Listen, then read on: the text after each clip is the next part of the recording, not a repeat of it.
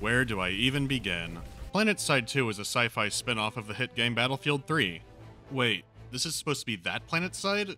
Oh god. I get that they had to make some changes for a wider appeal since the first game was a commercial failure, but what happened here? People were hyped for this game, and look where it is now. To say this game was confused and a lot went wrong is an understatement, but I'll try to get to as much as I can. This is probably the most directly confused big budget title I've ever played. I'll go into why this is later, but for now let's take it from the top. PlanetSide 2, What You Could Have Been.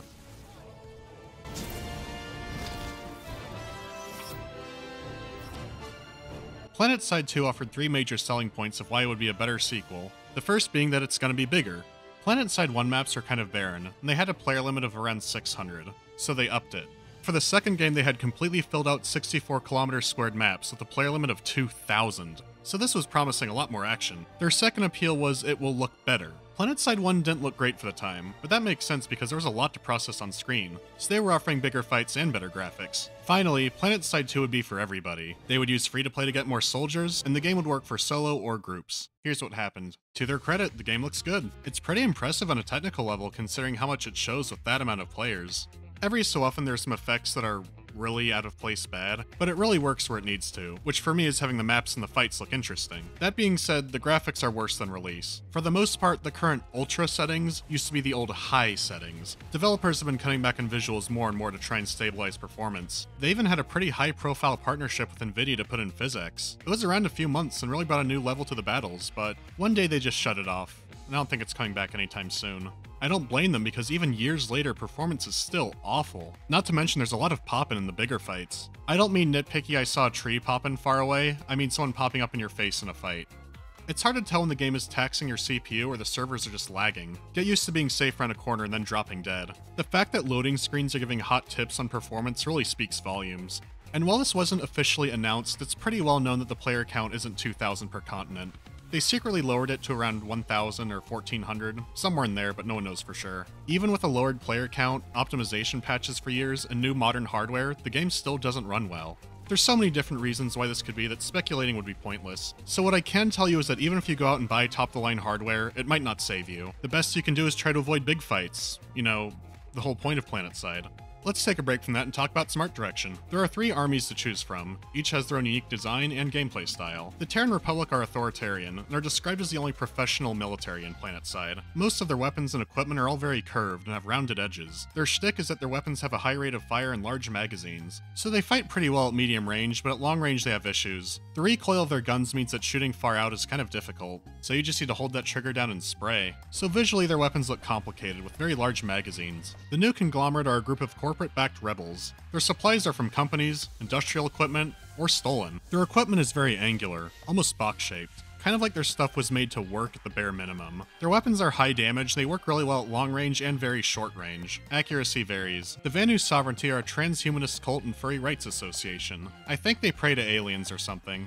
Their equipment looks otherworldly, most of it glows. Their weapons are incredibly accurate at the expense of damage. That's the price of energy weapons. So every faction has a very unique look, right? No, things have gone terribly wrong. Here's my TR Assault. You can clearly tell he's TR. But now it's a little harder. Being a free to play game, one of the first things they sold was camouflage. This works well if it's still following the faction color, but it's camouflage. If you look at most PlanetSide promo material, there's very little camouflage. If there is, it's usually something vibrantly that faction's color. Or they'll show Terrans with camouflage because it's bright red and you can't miss it. But in game where fights are more like this, it's a nightmare. Hey, that dude is pink.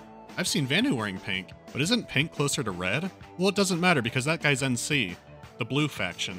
That seems kind of confusing. Now have the room look like this. Nameplates don't always load in with the character, so you might shoot a friendly on accident. That's hard enough as is, but now you can't tell the colors apart easily. But if you're not wearing camouflage, that means the enemy has an easier time shooting you. So now you're compelled to put it on, or else you're an easy target. I'm pretty sure that giraffe camo was the most notorious example of this, but it's still around in other ways. Camouflage doesn't hide you well in the environment, it just makes the enemy wonder if you're one of their friendlies. That's just frustrating. If you've seen montages of this game of people racking up kills in crowds, it's because they don't know what's going on. Here's what I mean. This guy has black armor with a big conventional gun, so what is he?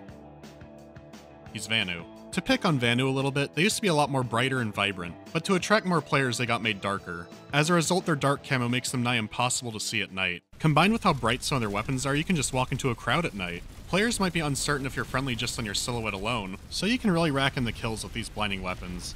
Let's move off of the camouflage for a bit. Each faction has some unique vehicles, a main battle tank, and a fighter. So here's what everyone can get.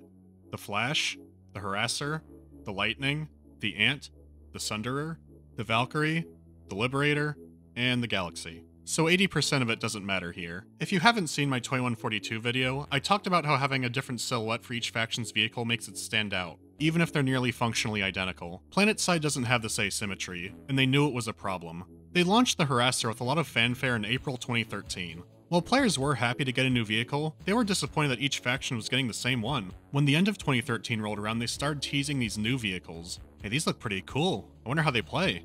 Well, I don't know, because they never came out.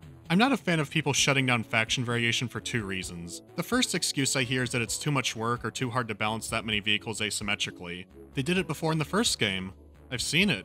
I've played them. It can happen. So the next fallback is the performance argument. You just can't render all those different models. Then how come they're selling 5 trillion vehicle cosmetics? These are more than just a paint job.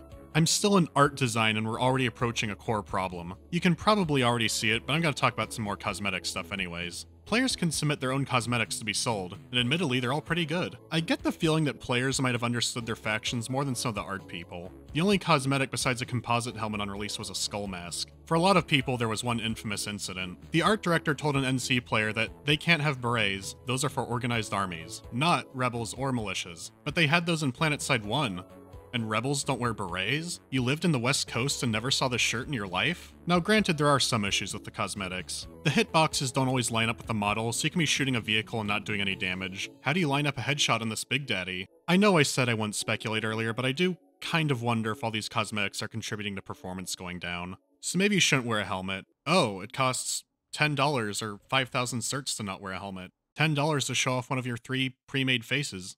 I guess you should wear a helmet. PlanetSide boasts about having a lot of weapons for each faction, which sounds great until you actually use your eyeballs. Keep in mind, at launch people said all the guns look the same, so this is after years of updates to fix it. You have to be shitting me.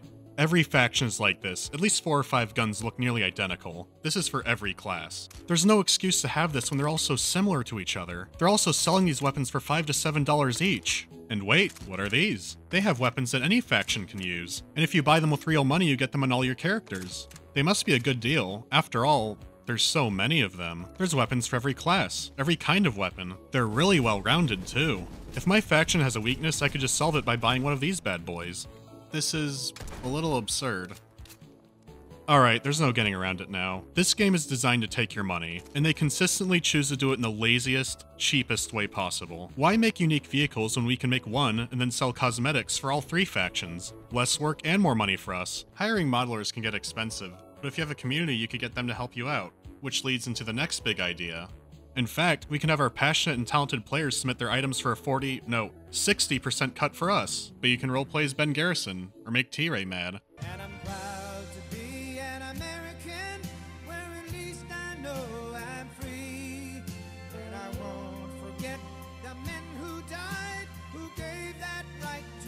Free to play messed this up good. The only reason all these guns are here are to sell them. If this was designed to be good, there wouldn't be three versions of the track. There'd be the track. You could use the current side grade system but flesh it out more. These different gun models could work as upgrades instead of separate weapons. It would become a big plus that your gun looks different the more you alter it. Plus it would make balance easier to manage. Yeah, balance, the gameplay. I haven't even started on the gameplay. But getting back on track, I think it's safe to say most people would prefer fewer, unique weapons. The thing is, they're out to make money, so naturally they sell the guns that anybody can buy. Even a year before beta, they were toying with the idea of making the free-to-play model cosmetic only. If they had just done that, the game might not be in such a mess. But I don't have the numbers, so for all I know, these weapons are the only thing keeping the game alive. Remember that the original company got bought out, so it's easy to say that they could have been desperate.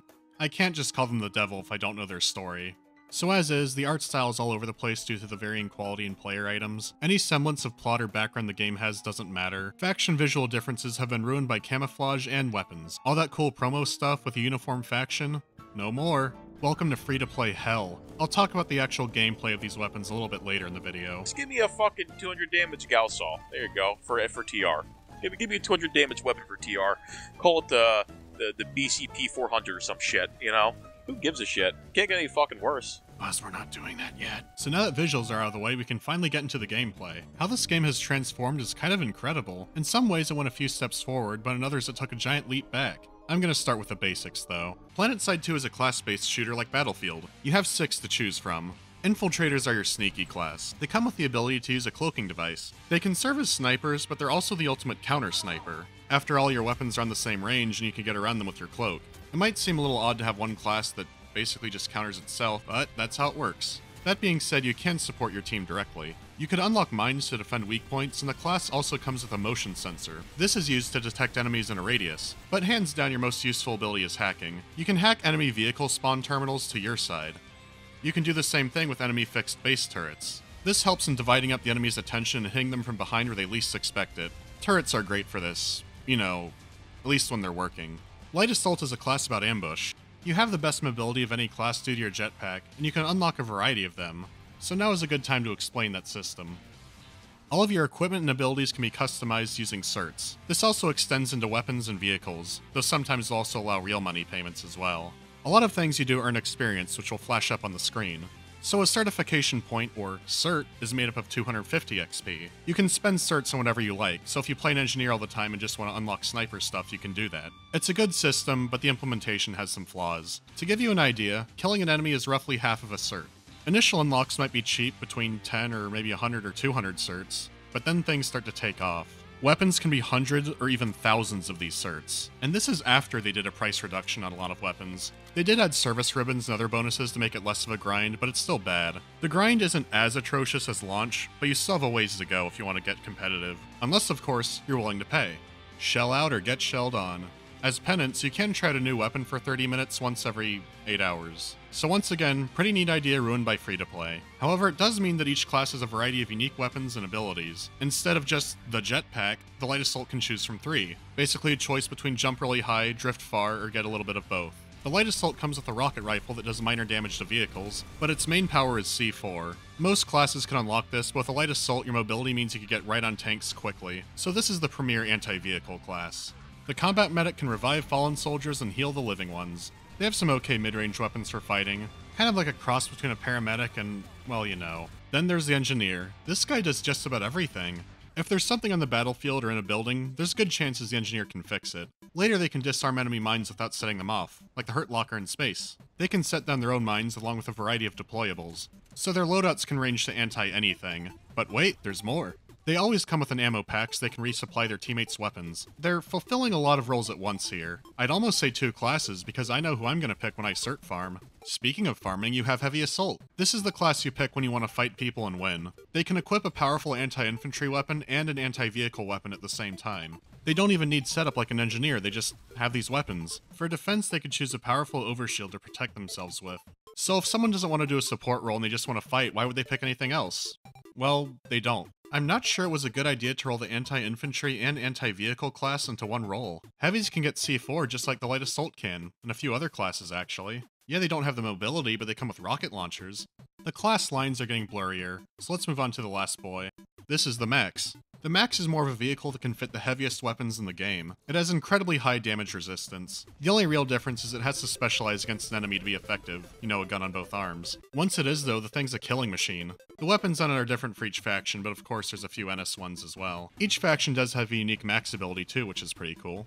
So the question becomes why isn't everyone in a max all the time? Unlike other classes, they cost resources to get. You need these if you want to spawn vehicles or equip special weapons. I'll get to where those come from in time, but it's more pressing for me to discuss how the class system is being ruined. These are perks called implants. You can equip two of them at a time and most of them are for every class. Hey, you know that cloak we gave to the class that has some relatively weaker close range weapons? The heavy assault can have it. Because an uncloaking combat shotgun is fun for you. The only reliable way to find cloaked enemies besides a shimmer on the screen is using this flashlight. You know, a very close range flashlight in shotgun range. That is insane, but it gets worse. As with everything, you can buy them for real money, but you can buy them with certs too. But of course, it's a random drop. A crate system, with duplicates. I'm just gonna flush 300 certs down the drain to look at the basic box. Oh sick, a duplicate of something I have and unlimited ammo? Don't need resuppliers anymore. You can even upgrade these implants to make them even more powerful. Wonder how many times I can do this. I don't even know what I'm upgrading these with. The wiki says it only comes from other implants. Wow, this is some bullshit. This is Batman beyond bullshit. So my question to Daybreak or anyone in the comments who knows what they're talking about is why? If there's an auto healing implant and unlimited ammo implant, why should I play anything other than Heavy Assault until the end of time? PlanetSide 1 didn't even have classes, it used an inventory system. Is that what you guys are trying to do? Before I made this video, I was going to harp on the all faction weapons, but I'd just be wasting my time. I could talk a long time about weapon and faction balancing issues, but there's no point anymore. Why bother? In a few years, it might just be infantry and mechs, that's it. In the case of stuff like the Zoe Max, they can make it go from overpowered to completely worthless in a matter of time. Anything I could criticize could be flipped around in 3 months or 10, so why bother? That said, NC weapons feel the best to me. In fact, I give the game credit. There's some really cool weapons in this game. The sound design and animations are excellent. It feels like a quality game. You know, when it's working. PlanetSide frustrates me. The overall goal of PlanetSide is territory control. The mechanic is very simple. Each territory has one or a few control points, and you capture it just by being near it. When it flips to your side, a timer starts counting down. When it reaches the end, this is when it becomes your territory. So efforts should be focused on capturing or defending the control point. When it is captured, it even displays which outfit contributed the most to it. no GF. Number one, boys. No GF.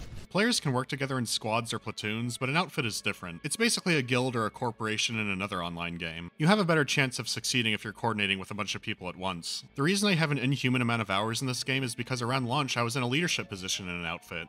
I saw videos up of me and my old outfit doing stuff together. Yeah, they're filled with stupid inside jokes, not very good, but I'm sentimental about it. I miss those days for this game. The game had less features than now, but we do stuff like have races or gladiator matches. Was a pretty good time. But 99% of them, myself included, don't really play anymore. Or if there are still people playing, they're in different outfits now. I met people there that I still talk to today, but I might not ever see some of the others again.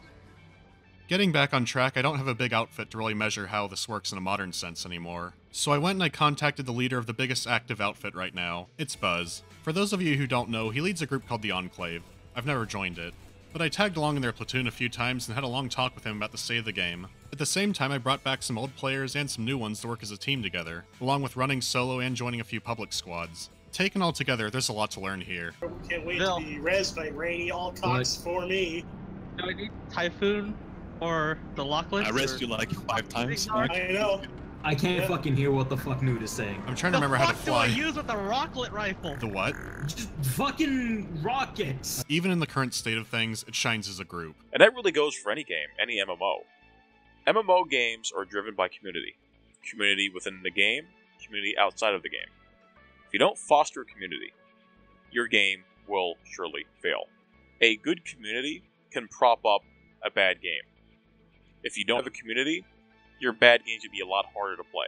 I said it still shines as a group, but it doesn't shine as brightly as it used to. This isn't nostalgia talking. This game has been mechanically sabotaged against groups. I'm going to explain my biggest flaw with PlanetSide 2. It's possibly more important than even the free to play garbage and all the weapon balance. PlanetSide's objective and territory gameplay is a complete mess. On the game's release and for months after, the map would frequently look like this for territory control. This is because players are allowed to capture any point on the map at any time. For reference, each faction has a territory called a warp gate, which is at their corner of the map. It can't be captured. So naturally, you'd think resources would flow out of it and onto the battlefield. But because you could capture anywhere, battles didn't work this way, and it was a mess. They then changed it so you can only capture adjacent territory, which was better, but there were still some problems. Looking on any map of a continent, you could see that there's roadways and open spaces that direct the flow of battle, and adjacent territory didn't always follow those, because that setup might direct you to move through a mountain. So they came up with a brand new idea called Lattice. In it, you can only capture bases connected to certain others. This made fights flow better and also made the lines clear. Okay, so the system was from the first game. It took six months of a broken territory system for the team to realize why PlanetSide 1 did things the way they did. I think that quote sums up everything, really. It made you want to tear your hair out watching them speculate on problems that PlanetSide 1 figured out the answers to 10 years ago. However, PlanetSide 2 was still lacking an important part. Here's how attacking works in the current game. There's an armored transport called a Sunder, which can spawn units but it can't park too close to an enemy point. That's the red circle on the minimap. You can't park near other Sundies either. Once it's deployed, your side can use it as a spawn point. So if you want to keep the attack going, you need the spawn point to be protected. Defenders spawn in from a shielded room, but get this part. Defenders can also get a Sundie, which you can then just park on the point. They don't have a no deploy zone. Look how many of my guys are in there now. It took them like 20 seconds to push them off. You'd think this is hard for attackers since they have to get past, you know, barriers and turrets and other defenses, but it gets worse. This is a button called Redeploy. It makes the open map worthless. It's pretty easy. You click this button, and they can spawn in a base within a massive range. So if the enemy is starting to win, you get your friends and then spawn in a massive Zerg right in the middle of the base. You recapture the point and kill their guys in the spawn, and since it'll take them 5 minutes to get back anyways, you basically win. I find myself fighting at the same places over and over again. It's because the maps aren't moving. Defending is too easy. In fact, some bases do have a destroyable structure called a spawn control unit, but only some bases have this. Even then, a lot of them come with a secondary shield generator, so you have to disable that too. And this is so you can accomplish the same thing as somebody blowing up your bus. And like I said before, they might already have one parked on the point, so it wouldn't matter anyways. So the only way to reliably attack is with overwhelming numbers, and guess what happens then? People clip their guns to the spawn room shield for easy kills. And if you really want to know just how widespread this is, check this out. No battle was ever won in the spawn room. Yeah, well the people doing this aren't here to win, they're here to get certs. I don't know if I can blame them. This game is such a grind, I see why people are compelled to do this. Look at this siege camp. There's dozens of vehicles, there's personnel running all over the place. It looks amazing. Do you know what this amazing organization of manpower is doing for the battle? Nothing. A point isn't being captured, so everyone is here just to farm certs for themselves. I mean, if you're having fun, good on you, but you can do both. Like many things, PlanetSide 1 had the answer to this. As I mentioned before, you use resources to spawn vehicles. How many you get depends on territories controlled by your faction, continent bonuses, and how much money you paid for boosts. So if you have the resources, and a base has the terminal for them, you can spawn as many vehicles as you want, along with max suits and other equipment that need it. So how did it work in the first game? It used a resource called NTUs. For the sake of convenience, I'm going to use a PlanetSide 2 map to show how it worked. PlanetSide 1 also had the Advanced Nanite Transport, or ANT. If you want to think of it like a real war, imagine it as a supply truck carrying fuel and ammunition. In this way, Lattice represented more than just a capturable point, it represented where supply lines are going. The Warp Gate was your main supply hub, so the Ant would deploy there and load up on resources.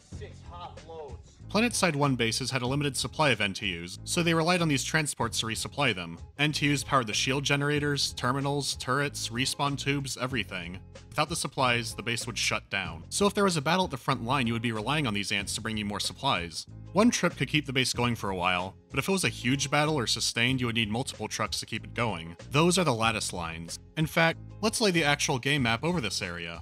See how the lines are roughly following the shape of the road? Or even open areas like beyond the mountain in the middle? This is why the first game was designed this way as well. This means that these cool sieges are actually depleting enemy resources and serving a purpose for the battle in the map. If someone is being selfish and just wants to farm certs for themselves, they're still helping the team effort indirectly. Let's talk about the content these trucks generate. We'll use our first example again. Same battle at the front line, but the enemy knows how this works. So a solo player decides to help out the team. When the ant is on the way, he flies his scythe in and ambushes it. It gave a solo player something to do. Or this. Before it even leaves, a small group of friends or an outfit shows up. They know the fastest route to the front, so they leave mines or set up an ambush on the road. But these are desperate supplies, so some players might protect the ant. The result is instead of one giant laggy battle, the fight for one area is spread out across the map in a good way. You've also given solo players and small groups something to do that's not a mind-crushing fight. I can almost guarantee that they cut this out thinking it was too complicated for people to understand. That doesn't sound fun, Greg. We should let the players have as much stuff as they need, or can pay for. Yeah, I guess you're right, John. We're releasing this on PC first. PC gamers never play slow, boring games. What if the truck drivers never got in a fight? No one would want to play a game about driving trucks. Combined with redeploy, your result is endless fights in the same areas over and over again. There's no reason to join a group to move around as a team, you just click a button. So they put the redeploy in. So instead of us having a HART pod where we'd all come in scattered throughout the hex, we'd all redeploy into the safety of the spawn room, pull mag suits, crush the uh, crush, crush the attackers, excuse me, and then move out and then go somewhere else and do the same thing. We'd find ourselves redeploying every night. Uh, the game has not changed. As a matter of fact, redeploy side has gotten even worse, and I have to force myself not to use it. And that's I mean, that that's just using something that's ineffective. So you, you're walking this fine line of, well, do I want to win or do I want to try and have some fun? But at that point, you're simply LARPing because everybody else is redeploying except for you. In PlanetSide 1, you did not have an endless siege.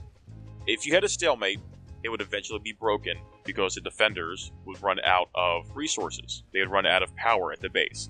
Uh, spawning took power, repairing turrets took power, creating vehicles took power. All these things took power from the base. Eventually, the base would base would run out of power. When it ran out of power, you could no longer spawn at the base. So what that meant is that the siege was over and the attackers would eventually win. So even if the defenders put up an amazing defense, they would eventually lose unless they got an ant into the base to refill the base. It added a great layer of combat. Planetside 2, no such thing. It's especially telling how big of an issue this is when you see their development videos for the maps. Right now, they're working on Ti Alloys. It's dead center of the map. People fight there a lot because they don't progress easily. So I need to talk about the maps, because you might be wondering why I'm spending so much time in a desert. The four continents the game has are expansive, but each one was kind of used as an experiment for base design for the developers. For example, most of Esamir's bases have giant walls. This was them experimenting between separating vehicle and infantry gameplay. Hossin has interesting base designs, and I like playing on it, but nobody else does. I get why though. Because it's a giant jungle, it's hard to move vehicles around anywhere. Plus, there's a ton of environment pop-in. I know some people without good computers who don't play here just because it nukes their machine. And yeah, it does this even with max render distance. Amerish is made up of mountains, valleys, and winding roads. Eh, basically looks like Oblivion. But you might find yourself fighting on mountains a lot, which isn't really the best. I overall like this map too. So why is everyone on Indar? Well, it gets most of the base changes for one thing, which keeps it popular. Also, unlike other maps that are just one biome, Indar has three. Compare that to Meadowland, Snowland, and Jungleland. Yeah, it is all a desert theme, but there's variation here. It has the advantage of having both winding roads and cliffs, along with having open fields. The only time people aren't on Indar is if it's locked off. Your faction locks a continent by completing objectives. These earn victory points. Some of these can be made by custom player bases. That's what the PlanetSide 2 ants are for mining. You search the battlefield for deposits of a mineral called cortium. You can use the rocks in the ant to build a silo, which will be the heart of your base. Then you can drop off your rocks in the silo. People can work as a team to make some really elaborate bases, with stuff like vehicle terminals and spawn points. But each time you spawn something, it costs some base materials, so if you run out, then you have to have supply trucks bring in more. Really? You're just gonna do that here and not in the rest of the game? The bases seem to be most useful when they're an obstacle, but they also have a building which generates victory points over time. So these kind of break the map flow because people have to come out to them to stop them. If you don't, you could be fighting a faction, but then another one will win because they built more Minecraft castles than you. This is pretty obnoxious. Either they're made relevant to the overall game, but they're out of the way and break the map flow, or they're irrelevant, but then there's no point to them. Because of redeploying how many vehicle terminals and spawn points there are, there's really no point to having a forward base. The most they can do is be built to slow down an advancing force on one of the main roads, but there's also a lot of no build zones. Bases can also build an orbital strike center. I've never seen this used on enemies, just allies who are fucking bored and want to nuke each other. Or they might not like the fact that you're mining rocks that they say are theirs, kind of like being in first grade. So if you built a base in the wrong place, you might get nuked by your own faction. The odd thing is, you'll always be in the wrong when they do this.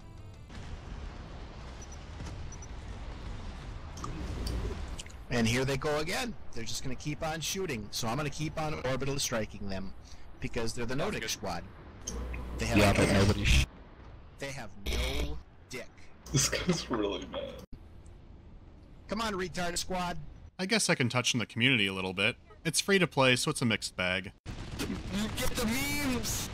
Here is the Valkyrie boys. Rush rolling in out too. Uh, I'll tell you as soon as I'm texted. The people, Get the, the. Templars of the yes. SC are pretty much just like this. I didn't even know this guy, but he got my Prowler unstuck. Trying to see if I could bounce you off my ammo. There you go. There you go. There's really a mix of people in this game. Most seem friendly to talk to. There's a lot of groups with leadership that are public, and they'll help you learn the game. Despite its flaws, PlanetSide does have a passionate community, and I think they do want to see this game work. Though there are a few that just want to watch it burn. Thank you, T Hummer. Someone's spamming really loud gotchi. Yeah, yeah. So I'm not, I'm not imagining. Who's playing it? That spank almost blew my eardrums out. Oh god, why?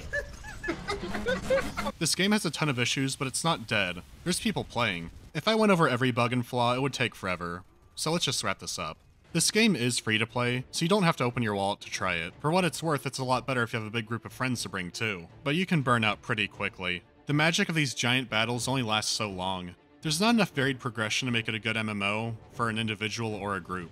There's also a lot of better shooters out there. There are free to play games that are a lot more fair than this, though personally I prefer just buying a game and getting it over with. What's frustrating is that the game has all the components to be great. It's retooling things, all the assets are there, but they won't do it.